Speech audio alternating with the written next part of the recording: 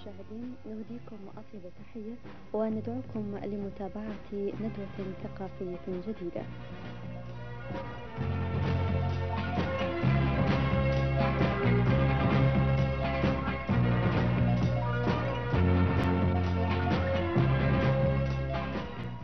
أعزائي المشاهدين خلال ربع قرن وهب العلامة طه باقر حياته كليا للعمل الأثري. ولم يدخر جهدا بين قراءات واسعة للنصوص المسمارية واطلاعا عميقا على الآثار المكتشفة من مختلف العصور والعمل الحقلي في مجالات التنقيب والصيانة الأثرية أو الإشراف على تلك الأعمال. لقد أطل العلامة طه باقر في الأربعينات. أطل علينا بدراسات شاملة لم تقتصر على تاريخنا الحضاري حسب.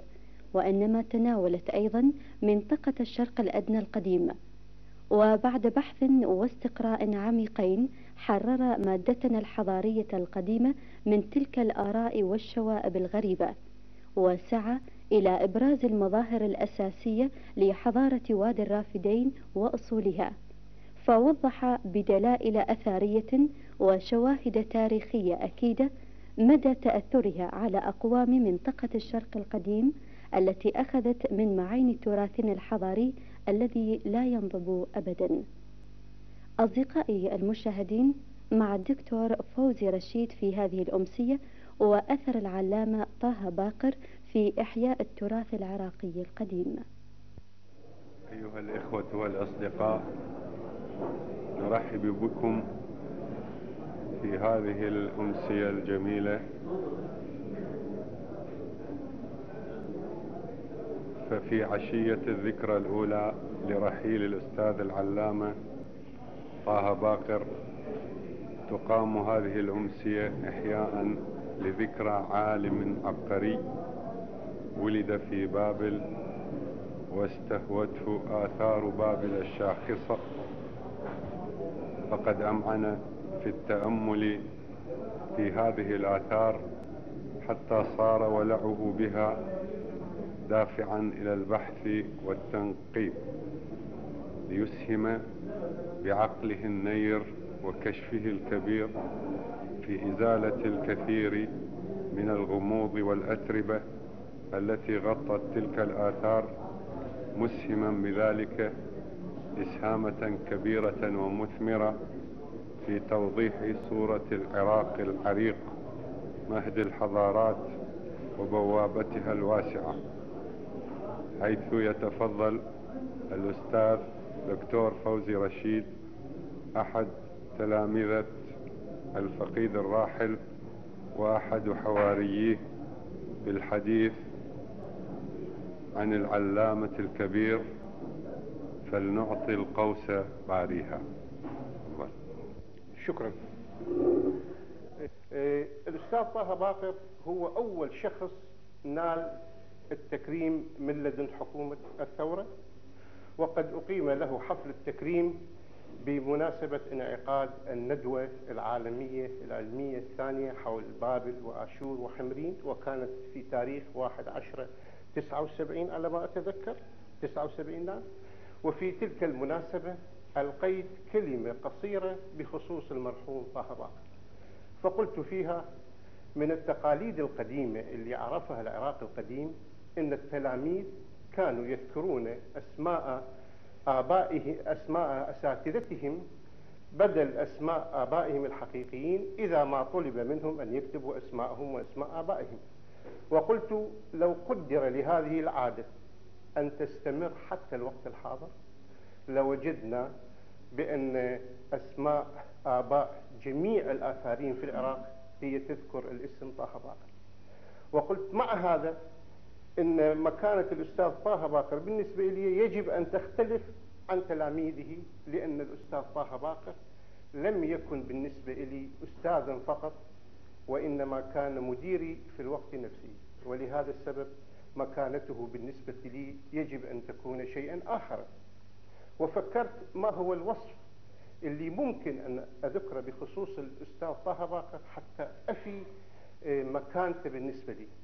فوجدت إنه أفضل نص هو نص سومري قديم ذكر أحد الأمراء السومريين المدعو جودية والذي حكم آه، آه، من 2244 إلى 2224 عندما خاطب الإلهة كادمدك وقال لها باللغة السومرية أما نوتكمي أما موزيمي آ نوتكمي آ موزيمي لا أملك أما أنت أمي.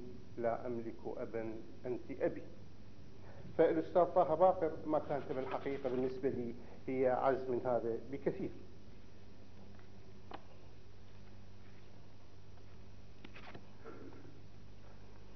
طبيعي الحديث عن الأستاذ طه باقر يتطلب أنه أن أفصخ إلى جوانب عديدة. فأولى الجوانب واللي لا أجدها بالنسبة لي يعني مهمة جدا أن أعطي نبذة مختصرة عن آه، دراسة الأستاذ طه باقر عن المناصب اللي آه، تقلدها. ولكن بودي أن أخبركم بأن الأستاذ طه باقر لا يفخر بالمناصب التي تولاها لأنني سمعت ذلك من الأستاذ محمد علي مصطفى المنقب الشهير في الآثار بأن الأستاذ طه باقر أخبره مرة بأن من الأخطاء التي ارتكبها في حياته أنه تولى مناصب إدارية فكان يميل دائما إلى البحث العلمي. ولد الأستاذ طه باقر عام 1912 الدراسة الابتدائية والمتوسطة كانت في مدارس الحلة. إلى جانب الدراسة الرسمية درس الموضوعات اللغوية على الطريقة القديمة كالنحو والصرف على يد عمه ووالده وبعض مشايخ الحل حيث أنهى دراسة ما يسمى بالأجرومية وألفية ابن مالك. أكمل الدراسة الثانوية عام 1933 في الثانوية المركزية في بغداد وكان من الأربعة الأوائل على ثانويات العراق. فرشح إلى البعثة ليدرس على نفقة وزارة المعارف علم الآثار في المعهد الشرقي لجامعة شيكاغو.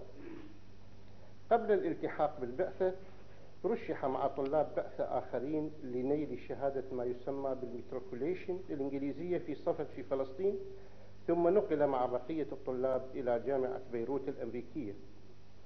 ثم سافر إلى أمريكا مع زميله الأستاذ المرحوم فؤاد سفر وفي عام 1938 عاد سوية بعد أن حصل على شهادة البكالوريوس والماجستير في الآثار واللغات القديمة. شغل منصب خبير فني ثم أمين المتحف العراقي ثم معاون مدير الآثار العام ثم مدير الآثار العام.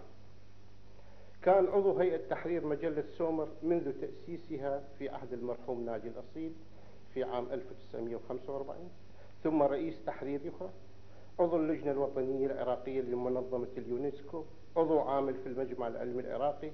عضو إدارة مركز إحياء التراث العلمي العربي. درس مادة التاريخ القديم في كلية دار المعلمين العالية سابقا ودرس اللغتين الأكدية والسومرية في قسم الآثار في كلية الآداب وبلغ في التدريس مرحلة الأستاذية. درس مادة تاريخ الرياضيات في قسم الرياضيات في كلية العلوم ودرس تاريخ الرياضيات والتراث العلمي العربي في قسم الرياضيات في كلية التربية.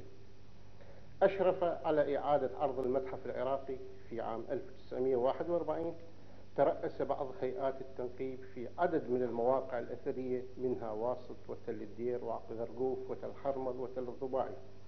والإشراف على التحريات الآثارية الواسعة في منطقتي دوكان ومنطقة شهرزور على أثر إنشاء مشروعي السدين دوكان ودربنتي خان عمل في مصلحة الآثار الليبية بمنصب خبير فني ثم مستشار. مؤسس قسم الآثار في كلية الآداب وله طبيعي العديد من الكتب والمقالات التي لا يسع المجال لذكرها في الوقت الحاضر. منطلقات الأستاذ طه باقر من ناحية الكتاب كلكم تمارسون القراءة والكتابة. وكلكم تؤمنون بأننا نستطيع أن ندرك من خلال ما يؤلفه المؤلف ما هي المعاناة اللي كان يحملها. بحيث هذه المعاناة هي اللي تؤدي بي إلى تأليف الكتاب. فعندما أنظر إلى كتاب أول كتاب أخرجه الأستاذ طه باقر وهو مقدمة في تاريخ الحضارات العراقية وهذا الكتاب كان يتألف من جزئين. والجزئين لا يتضمنان تاريخ العراق فقط وإنما تاريخ المنطقة العربية بأكملها وحتى تاريخ مصر. والأستاذ طه باقر هو الوحيد من بين العراقيين الذي كتب عن تاريخ مصر وهو الوحيد الذي كتب عن تاريخ المنطقة ككل وليس بلدا معين أو قطرا معينا من الأقطار العربية. هذه الناحية خلتني أؤمن بأن الأستاذ طه باقر عندما فكر في كتابة مقدمة في تاريخ الحضارات العراقية لا بد وأنه كان منطلقا من الحكمة التي تقول يبقى جاهلا إلى الأبد من لا يجيد تأريخ أمته. وبالتأكيد أن الأستاذ طه باقر كان يرى في التاريخ القديم بأنه بالنسبة للأمة كالذاكرة بالنسبة للإنسان. وبالتأكيد أيضا كان يعتقد بأن التأريخ القديم بالنسبة للأمم وبالنسبة للشعوب هي كالعقل الباطن بالنسبة للحضارة البشرية. وأي طبيب في الوقت الحاضر إذا يريد أن يعالج الأمراض النفسية لأي مريض عليه أن يغور في أعماق العقل الباطن حتى يستطيع أن يشفي تلك العلة. وكذلك بالنسبة لمشاكل الشعوب لا نستطيع حلها بسهولة ما لم نغور في العقل الباطن للحضارة البشرية لنعرف الأسباب التي أدت إلى ظهور هذه العلل. والأستاذ طه باقر حاول من خلال كتابة مقدمة في تاريخ الحضارات العراقية أن يعطي صورة شاملة لتاريخ المنطقة بأكملها.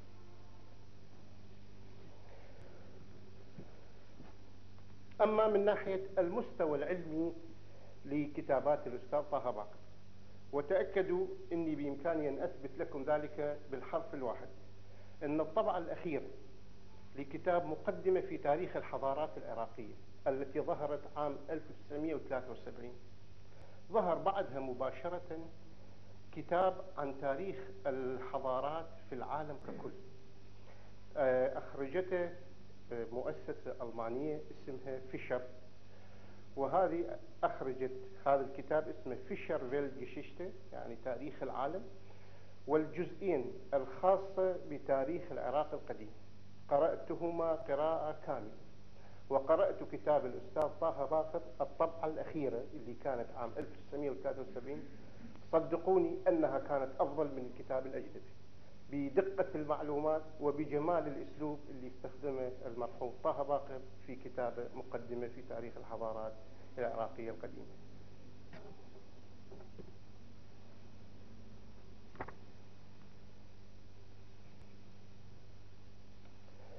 الناحية الأخرى اللي حاولت أن أدرسها في الأستاذ طه باقر طبيعي الأستاذ طه باقر آه، بدت اشتغالاته في مجال الآثار على ما أتذكر يمكن من عام 1945 آه، ونحن الآن في عام 1985 معنى ذلك مضى على هذه الفترة 40 سنة. وتأكدوا أني أجريت إحصائية على كتاب حضارة العراق الحديث ووجدت إن فعلا أكثر اسم تردد بين المصادر هو كتاب الأستاذ أو كتب الأستاذ طه باقر. ومن يتزعم الريادة في الآثار هذه المدة الطويلة لا يمكن أن يكون إنسانا عاديا. لا بد وأنه مبدعا وعظيما وما قدمه أشياء راقية للقائمين. الكتاب الآخر اللي فعلا يشير على الهم الكبير اللي كان يحمله الأستاذ طه باقر عندما نحاول إرجاع أصول الكلمات اللي نستخدمها في حياتنا اليومية ألا وهو كتابة من تراثنا اللغوي القديم. طبيعي العراق القديم كان يستخدم الكتابة المسمارية. والسومريين ولا البابليين ولا الآشوريين كانوا يعلمون علم اليقين بأن الكتابة المسمارية كتابة صعبة وعندما شاهدوا الخط الآرامي أدركوا جيدا بأنه خط سهل للغاية ولكنهم مع ذلك لم يقدموا على تغيير الخط المسماري. لأن تغيير الخط يعني ذلك فصم العلاقة بين الماضي وبين الحاضر والمستقبل. فما أقدموا على تغيير الخط المسماري ولكن اللي أقدم على تغيير الخط المسماري هو بعد الإسكندر المقدوني. بعد وفاة الإسكندر المقدوني اتقسمت الإمبراطورية بين قواد الأربعة وكان العراق وسوريا طبيعي من حصة القائد سلوقس وهذا طبيعي رجل لا يهمه تاريخ العراق على الإطلاق وماضي العراق ما يهمه إطلاقا فأقدم على تغيير الخط المسماري وأبدله بالخط الآرامي ففصل فعلا العلاقة بين الماضي وبين الحاضر ولهذا السبب إحنا إذا نريد نرجع كلمة بغداد إلى أصلها حد السلوقي ونوقف. ومعظم الكلمات فبالتأكيد كان الأستاذ طه باقر يعاني من ذلك لأنه يعرف بأن هذه الكلمات معظمها ترجع في أصولها إلى فترات أقدم فحاول أن يؤلف كتاب من تراثنا اللغوي القديم.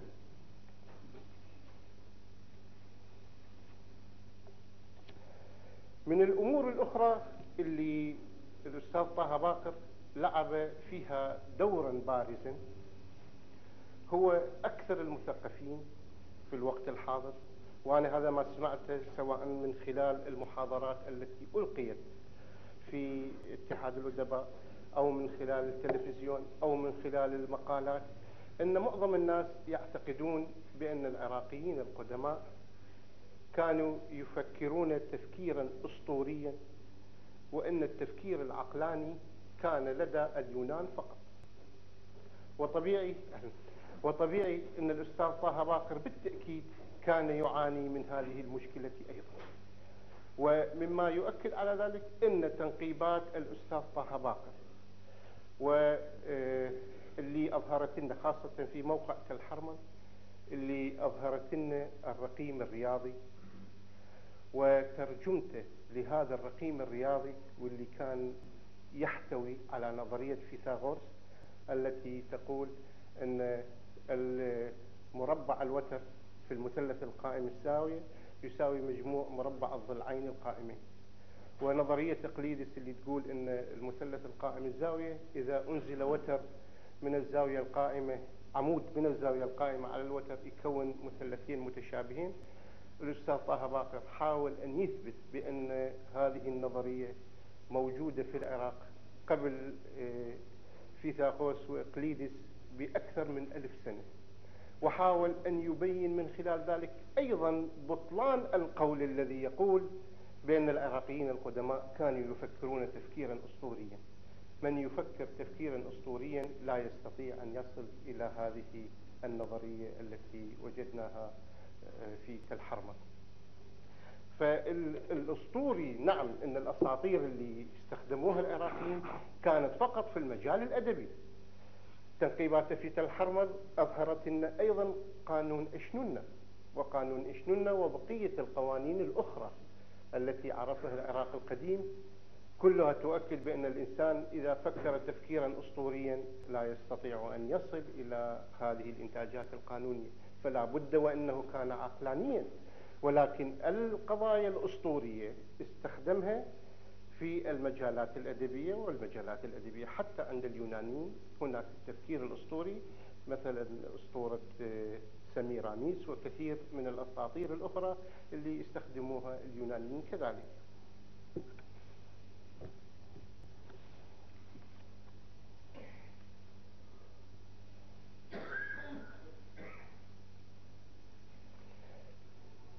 من الأمور الأخرى اللي بودي أن أذكرها بخصوص الأستاذ طه باقر هو التواضع الكبير اللي كان يحمله الأستاذ حيث أن كتابه مقدمة في تاريخ الحضارات العراقية القديمة.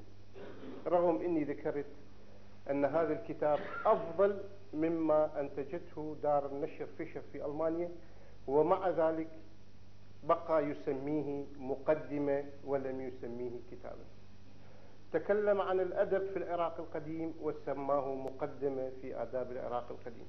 كل ما كان يقدمه الأستاذ طه باقر كان يعتقد أن ذلك قليلا أن ذلك لم يفي بالمعلومات المتوفرة عن العراق القديم ولذلك كان يسمي ذلك بمقدمة.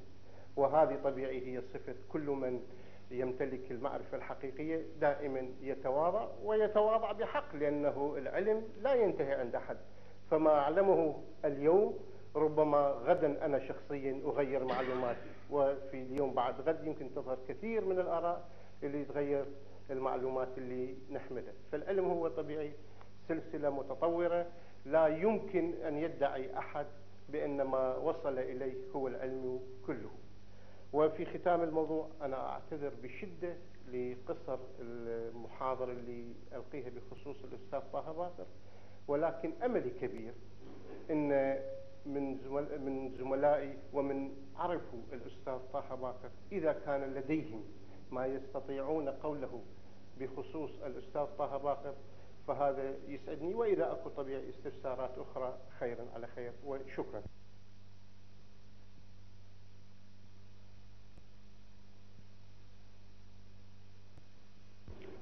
شكرا للدكتور فوزي على هذه المحاضرة الشيقة. والآن نفتح باب المناقشات والاستفسارات. إذا كان أحد الإخوان يرغب في ذلك تفضل. الحقيقة اغتنمت هذه الفرصة كي أسأل الدكتور آه، جملة أسئلة منها أن الجهود الآثارية التي بدأها المرحوم الأستاذ طه باقر آه، هذه الجهود هل يمكن أو هل هناك شيء يمكن أن يضاف إليها من خلال جهود الدكتور فوزي آه، وزملائه يعني هل هناك من جديد؟ أم أن البحوث الآثارية طبعا هي تستند على الأرقام الطينية على منجزات آه، آه، سبق أن توصل إليها الآثاريون. هل من جديد في هذا الخصوص؟ الحقيقة هذا ما وددت أن أعرفه الأمر الآخر هناك هل هناك شيء يسبق الحضارة السومرية آه، العراقية القديمة؟ يعني آه، الإنسان آه، بدأ بدأت حضارته بال طبعا الكتابة هي التي يمكن أن تكون أو أن تجمع أن تلم أطراف الحضارة. يعني يكون هناك تراكم معرفي يكون الحضارة. الكتابة المسمارية هل هي أول هل هي أول كتابة؟ صحيح أن هناك كتابة صورية شيء من هذا ولكن آه يعني آه بخصوص هذه الكتابة هل هي البدء أم أن هناك شيء قبلها ولو قارنا بين الكتابة المسمارية والكتابة الهيروغليفية الفرعونية القديمة أيهما أسبق؟ هل أن كتابتنا المسمارية هي الأسبق أم أن الهيروغليفية هي الأسبق؟ آه، الشيء الآخر الحقيقة وددت أن أعقب على ما ذكره الدكتور فوزي رشيد بخصوص التفكير الأسطوري أن الإنسان العراقي السومري لم يكن يفكر بطريقة أسطورية كان يفكر بطريقة ذكر أنها عقلانية. هو الحقيقة الأسطورة ليست هي الخرافة حسب. هذا من جانب. يعني في تقديري أن الأسطورة هي علم ومعتقد دين وفن وأدب الإنسان البدائي. هذا من جانب. من جانب آخر أليس للأسطورة يعني ألا يمكن أن تعيش الأسطورة والعلم في ذهن الإنسان. أليس الأسطورة والمعتقدات الخرافية مكان في أذهاننا وفي أذهان كثيرين من الناس حتى اليوم؟ يعني ربما عاشت الأسطورة مع غيرها.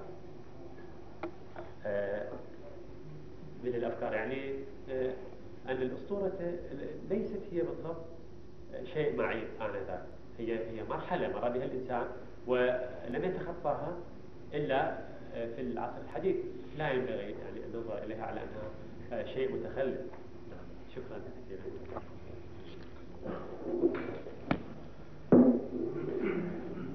أنا لم أشعر في يوم من الأيام بخوف بقدر الخوف اللي شعرت اليوم حقيقة. لأنه قلت لكم يعني أنه كوني أنه لا أستطيع أن أفي بمكانة الأستاذ طه باقر.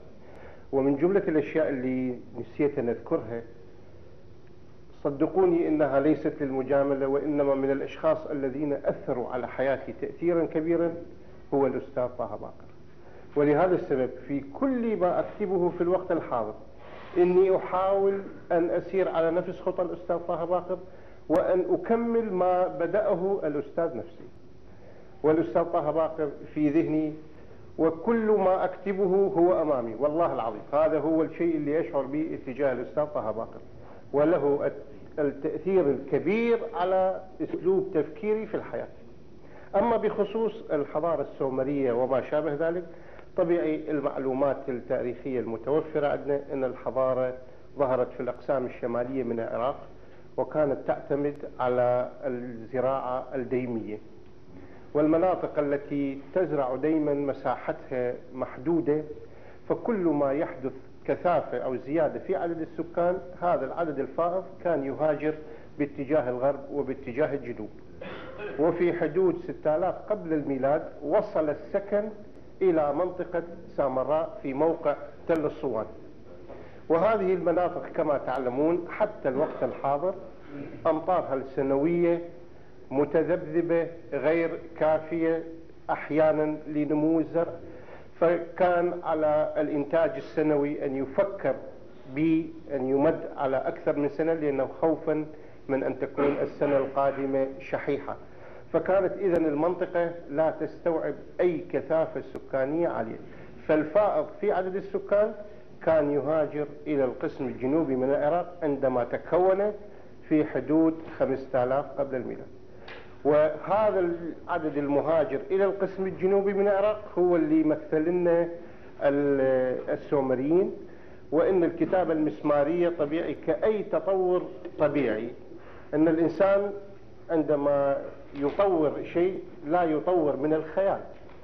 كمثل بسيط على ذلك إن أول من آه، صنع القارب طبيعي ما تأثر بالأشجار وهي بالغابات. وإنما تأثر بالأشجار وهي طافية في النهر.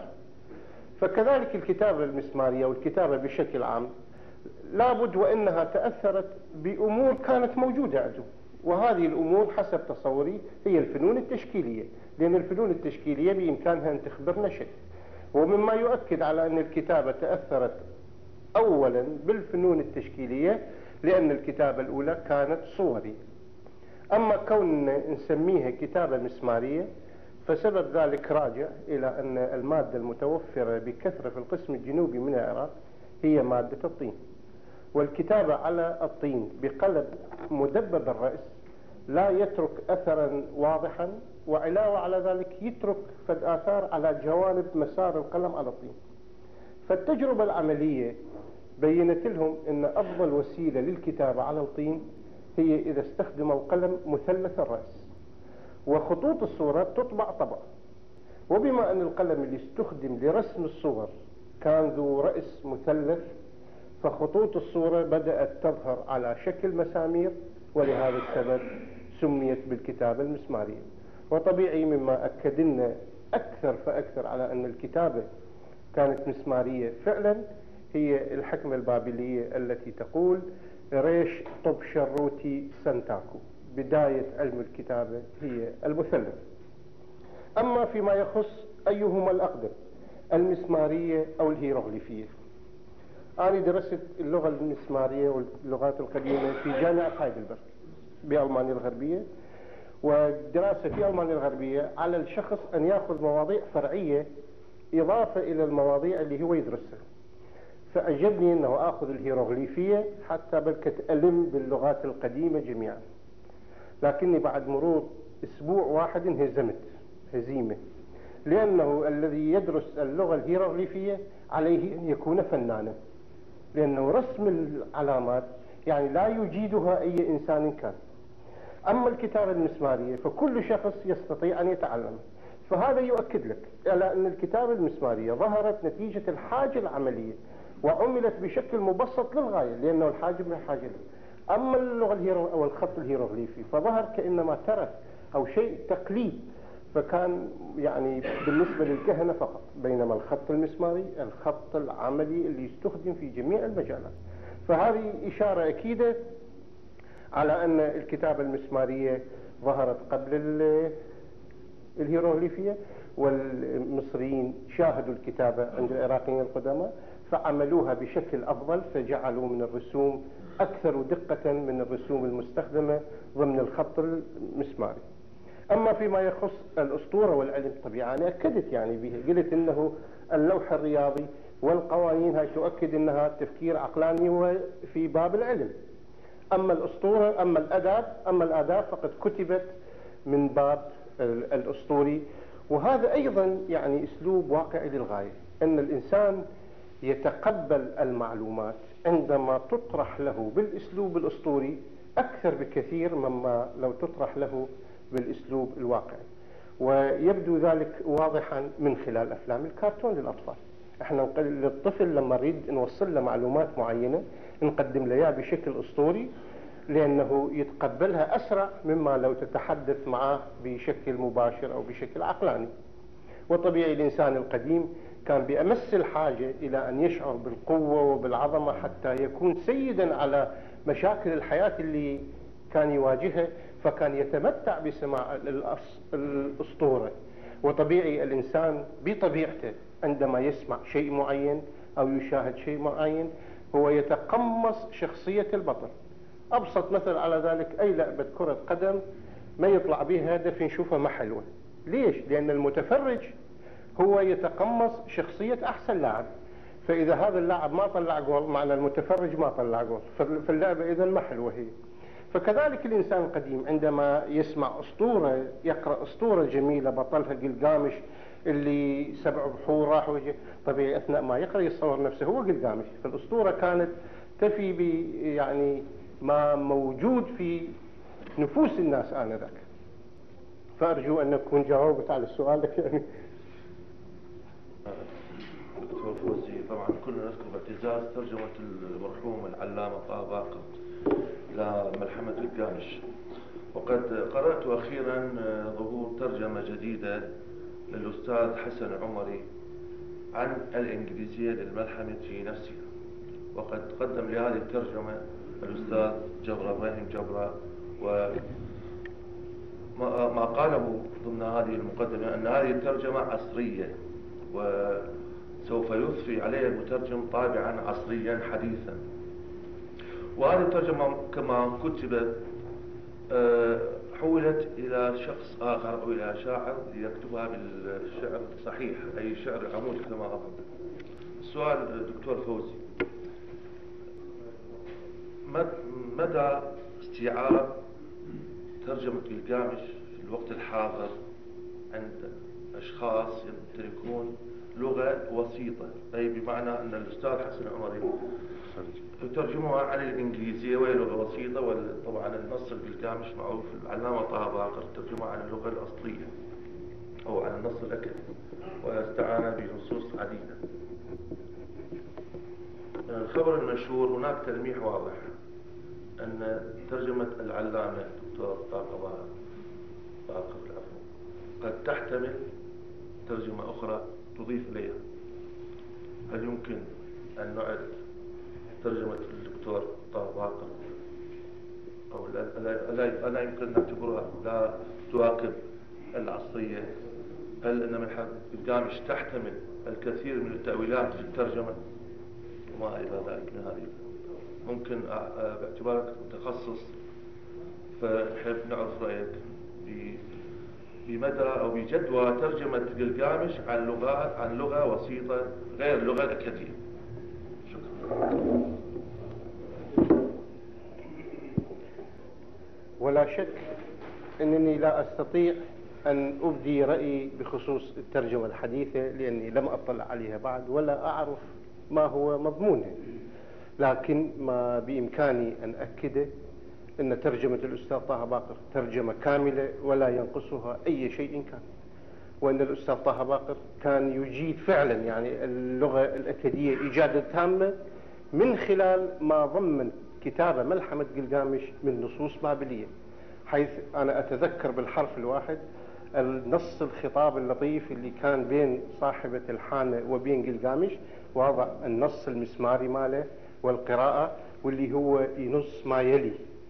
أنا شاشو يذكر إليه قد قالت بلاطام شا تسخر لا تتى الحياة التي تفتش عنها سوف لا تجدها.